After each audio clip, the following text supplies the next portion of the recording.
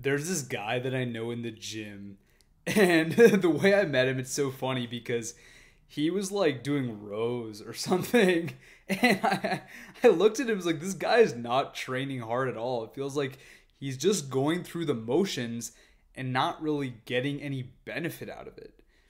And you look at this guy's physique, you would think, well, he probably hasn't even ever lifted. I was mistaken. I go up to him and instead of introducing myself, whatnot, I say, push harder, keep going. All right, he reached failure. I said, rest, count down from 10 in your head. He counted down from 10, and then he kept going. And then I said, keep going. Then I said, then he reached failure. I ripped off the 25s. I said, keep going. I placed my hands on his lats. I said, feel the connection right there. This guy's like, what the fuck? this dude just came up to me. He didn't say anything because I was just like a million times more jacked than he was. And this is sort of the reputation I have in my gym that people know that I know more because I've built that reputation and they've seen me coach people who've asked it. So the unsolicited advice just comes sometimes and they don't really mind. And anyways, this guy like starts to think that we're friends or whatever. I was just trying to teach him to not be a pussy because this guy is Indian I'm Indian too. In my head, this guy is giving my people a bad name because he looks like shit. I mean, not only does he not know how to lift and look terrible, but it seems like he doesn't brush his teeth and he smells bad. It's like every time this guy comes up to me, I'm just like, bro, can you not? Just please get away. But a part of me wants to help him because he's been going to the gym for so long, for two years and he looks terrible. I didn't look like Top G Chad after two years, but I had made some progress. And it's important to find the constraint of where you're at when you've been doing something for so long and you haven't made any progress towards your goals. The first thing that comes to mind when when people are going to the gym for years and years and they aren't making progress is that they just don't lift frequently enough. For this guy in the story, that wasn't the case because he's in the gym four days a week. But a lot of you who aren't making the progress aren't training the muscle groups frequently enough. What that means is you might be on a typical bodybuilder split. The, or the bro split, which goes chest, then shoulders, then arms, then legs, then back. It's a five day split. And the way that works out is that now you've only hit each muscle group one time per week. Now, there's a study here from 2016 called, and I'm going to read this, called the effects of resistance training frequency on measures of muscle hypertrophy, a systematic review and meta analysis. Now, I read the whole paper, and basically, you really don't need to read it. The main point of the paper is that training muscle groups one, one, only one time per week is not efficient enough. You are leaving gains on the table if you are not training at least twice per week. And that doesn't mean going to the gym twice per week. Means training each muscle group twice per week, which is why I recommend to most people who are getting into the gym to do either a full body split three times per week or to do upper lower, where you hit your entire upper body, then your entire lower body, rest, upper body, lower body, rest.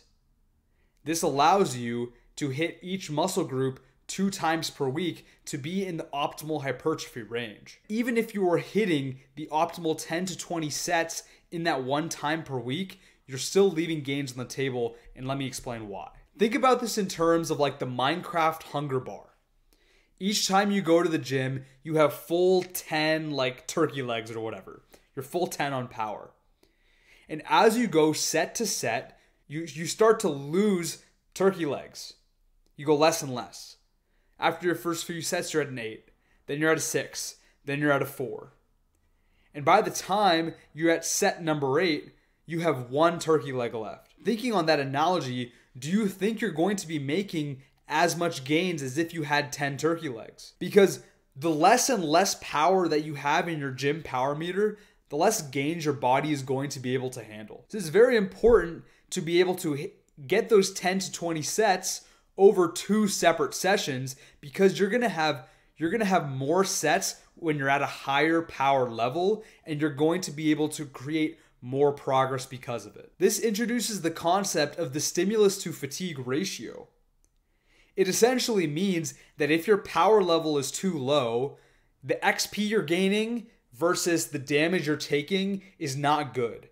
You're taking more damage and you're getting less XP. So, in order to get XP higher than damage, your power level needs to be at a 10 out of 10 for most of the time. And the way you do that is by splitting it up into two sessions. Another reason that you might not be making gains is that you're prioritizing isolation movements too early in your gym journey. There becomes a time where isolate are a really, really good tool to cap off your physique. But in the first two to five years, you really need to be prioritizing the six compound movements the squat, bench, deadlift, overhead press, pull up, and barbell row. These six movements are going to build 65 to 80% of your physique. If I simply started doing the rear delt cable fly and the pec deck and the leg extension, I'm not going to be making as much gains as if I did bench press, barbell rows, and squats. Your body needs the stimulus. Because when you are earlier in your gym journey, your power meter stays higher for longer and you take less damage. And as you get more advanced, you start to take more damage from these compound movements, which means you need to take advantage of the period where you take less damage and you gain more XP. Think of it as like a double XP weekend for five years. Another reason you might not be making the progress that you want is that you're not training close enough to failure. Notice how I didn't say to failure. You don't need to train completely to failure to make gains, but you need to train really damn close. A study from 2019 titled Muscle Failure promotes greater muscle hypertrophy in low load but not high load resistance training. I'll break it down. Within the first two to five years of your lifting journey, if you were in a rep range of more than 8 to 10 reps, you should be training to complete failure. If you're doing a really heavy set of 3 to 5 reps, you should be training one to two reps away from failure. It's not that much of a difference. I can almost guarantee that most of you aren't training at this area because doing one rep away from failure on a squat feels like death. like, this is a very, very hard movement. One rep away from failure on deadlift is very difficult. Most people are stopping three to five reps away from failure and wondering why they're not making as much progress as their buddy is. Because their buddy is the gym bro idiot who's training to failure on every single set of every exercise. He's training to complete failure, he's getting more damage. But the XP he's getting is way higher than you. Yeah, you're taking less damage, but your XP is in the gutter. So your gym bro friend who's in newbie gains is able to sustain that damage because he's going to failure and he's getting double XP. Going to the gym is almost like getting that diamond camo in Call of Duty. When I was in sixth grade, I would play Call of Duty Black Ops 2. And I would grind to get the gold camos in each of the categories. And once you get all of the gold camos, you get the diamond camo the way it works is that you would need to get like 100 headshots and then like 100 kills while crouching and then 100 while prone and 100 while doing a 360 or whatever. You had to do 100 200 3 of all different kinds of kills with that weapon. Going to the gym is the exact same thing. It's not just one or two things that you do correctly. There's five or six things that you need to do correctly simultaneously and that is what will give you the result. It's going to the gym and training one rep away from failure or at failure. It's training each muscle group at least twice a week. It's doing your optimal range of 10 to 20 sets. It's prioritizing the six compound movements in your first two to five years. All of these things together build a really, really good foundational physique. It's what allows you to take advantage of the newbie gains while you're still in that phase. And you're not wondering 10 years down the line while you're still fat and ugly. Imagine where you could be if you simply implemented all of these things today. A year down the line, 100, 200 workouts later, what kind of physique are you going to have? What levels of confidence you're going to be? Imagine the confidence you're going to have. You're going to be able to go up and talk to anyone. You're going to feel proud of your physique. You're going to have the attraction and the status, and people will perceive you to be better. Aren't these all things that you want? If you're an athlete, you're going to be able to dominate people on the pitch because you have built the athleticism and the strength and the power that comes with implementing these practices. If you want to be a bodybuilder, you're going to accelerate that time so you can actually get onto the stage. But if you don't do this, you're going to stay like the guy described in the beginning with a shitty physique, with saggy man titties and wide love handles, and looks like he doesn't even lift, even though he's been in the gym for two and a half years. And he doesn't have the social skills because he, all he does is talk to weird people who are at the same low status as him. So those are the two options.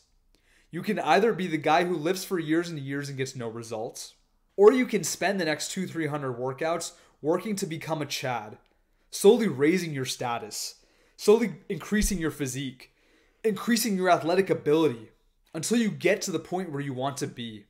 And all it takes is taking these five steps that I've outlined for you, envisioning the outcome of where you're going to be, and then implementing it on a day to day basis. If you see yourself at 2.0 version, you will make it. But if you're focused on the problems that you're experiencing on a day to day basis, you will fall off because your progress is fueled by anxiety at that point. But if you focus yourself on the outcome, you will adopt a growth mindset and simply adopt the principles that I'm telling you today, and you will achieve. It's guaranteed. It might take 600 workouts, but the guy who did the same 600 workouts and only hit the muscle group once per week will be behind.